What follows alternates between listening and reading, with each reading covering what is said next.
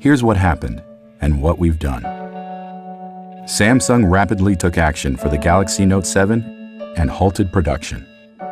Out of 3 million Note 7 sold, 96% have now been returned. This past fall, 700 Samsung researchers worked to replicate the issue with more than 200,000 devices and more than 30,000 batteries. We are determined to learn from this experience. Here's what we discovered. Our findings concluded that the Note 7 device failures were due to two different factors that originated in and were specific to the two different batteries. As you can see in the first instance, there was an electrode deflection and incorrect positioning of the negative electrode tip in the upper right corner of the battery. In the second occurrence, an abnormal weld spot led to an internal short circuit.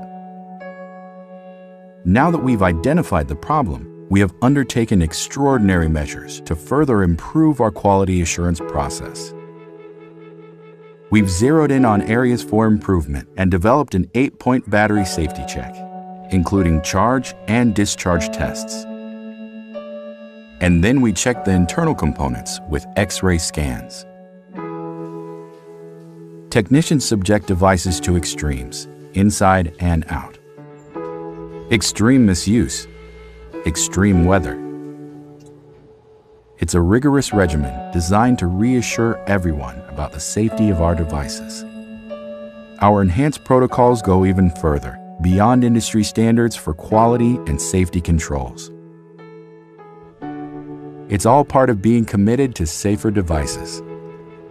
Samsung's heritage and commitment to innovation will not stop.